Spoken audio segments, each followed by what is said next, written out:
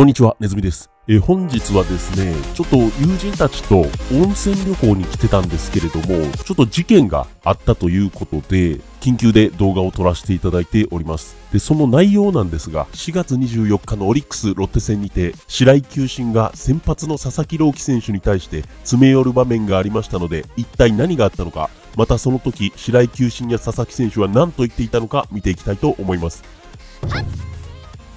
はい。ではまず何があったのかと言いますと、3対0とロッテがリードの2回裏、2アウト1塁の場面、バッター足立を2ストライクと追い込んだ3球目、外角に投げたストレートはボール判定と同時に、1塁ランナーの杉本が2塁へ盗塁を決めたところで、白井球審がマウンドの佐々木選手に詰め寄りました。選手が審判に詰め寄ることはあっても、審判が選手に詰め寄ることはなかなかないため、この件は炎上。現在ダルビッシュ投手はじめ、選手、関係者を巻き込む大論争となっています。で、一連のやりとりの中で、白井球審が何を言っているのか、など細かい点ありますので、見ていきたいと思います。はい。ではまず佐々木選手が、このようにアウトローにボールを投げます。そして判定はボール、二塁もセーフ。となったところで佐々木選手が帽子をちょっと持ちながらマウンドを降ります。そしてマウンドを降りて、こちら側を振り向いた瞬間、白井球審が佐々木選手の方へ向かってきます。ですので白井球審は、この佐々木選手がマウンドを降りる瞬間の表情であるとか態度、あるいはこの佐々木選手と白井球審の目がこの時合っていたりしたのかもしれません。そしてこの後白井球審が松川捕手や佐々木選手に何か言ってますので、ちょっとそれ私自身唇を読んでみたり、ちょっとネッット上でこう言われてるんじゃないかということが書かれてましたので、ちょっとそれらを総合して一番こう言った可能性が高いんじゃないかなという字幕をつけてみましたので、ご覧ください。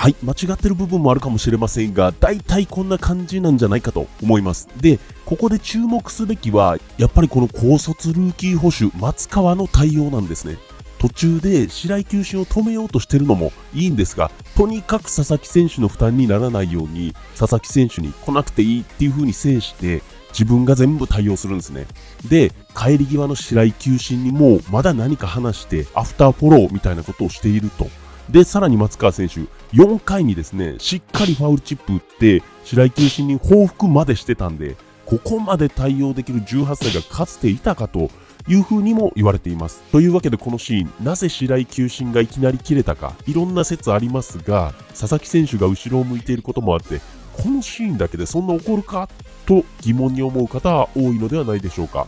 でも、実はこの話、伏線がありまして、2回先頭打者、トングー選手の際にも際どい球のボール判定があって、そこで佐々木選手が、えー？っていう感じで笑いながらくるっと回るんですね。まあそれもそんなに不服そうなリアクションには見えないんですが、白井球審はその時、佐々木選手の方をじっと見てるんですよ。なんで多分、そのあたりから白井球審はイライラしてたんじゃないかなと思います。ちなみに、くるっと回った時の佐々木選手の表情ですが、大体こんな表情です。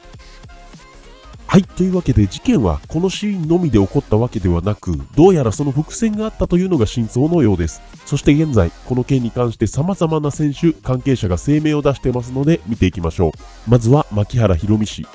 球審と一悶着あった足立への投球、正直に言えばストライクに見えたし、球審が感情的になんだお前みたいな態度で詰め寄ったのもどうかと思う。長い間プロ野球に携わってきたが、こんなシーンは見たことがない。ただプロの先輩として佐々木君には顔や態度に出すと損をするよと伝えたい。自分も閣下するタイプで若いうちは感情をストレートに出していたが、そういう態度を取ると審判にマークされる。そしてデーブ大久保氏。佐々木朗希は一見そこまで不服そうな動きはしてないように見えるが、実は、え、入ってないんですか？みたいなマウンドを降りるような仕草をしちゃってる。あの動きっていうのはバッターで言うとストライク判定を受けてバットでベース横に線を引いたりする行為に近い。あの動きは即退場ですから。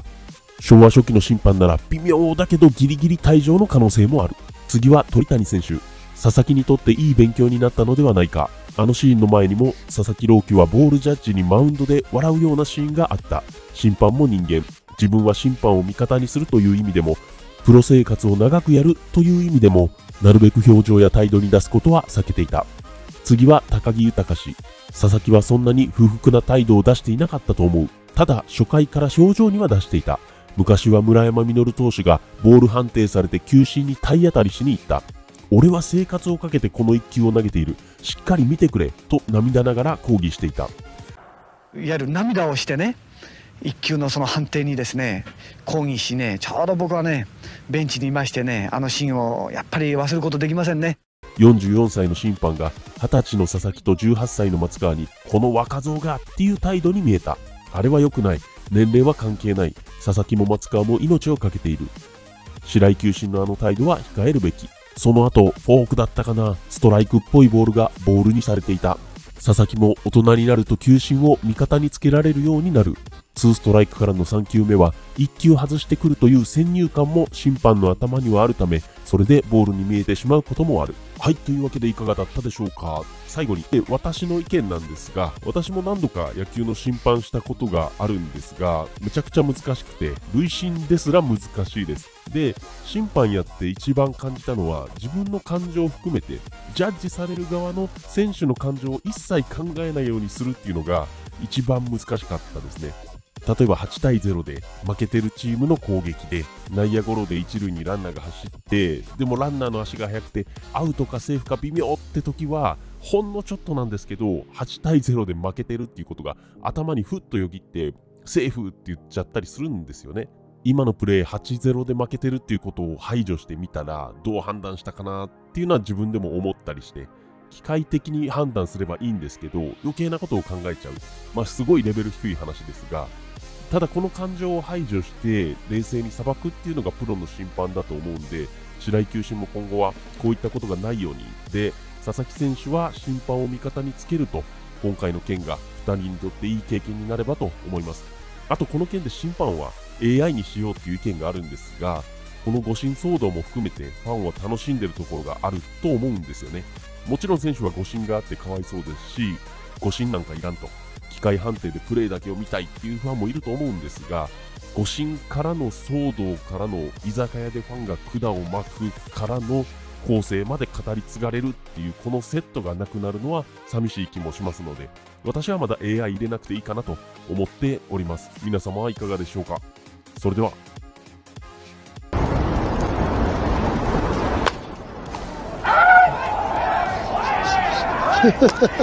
あとこの今コールに関して平田監督が出てきました。平田監督が出てきました。みんな取っちゃダメだよみんな取っちゃ。何を言ってんですかじゃないやろお前。スコボールやないかあんな。抗議に行きますが何やそのふてくされた態度は。テレビお前見てみテレビをじゃあ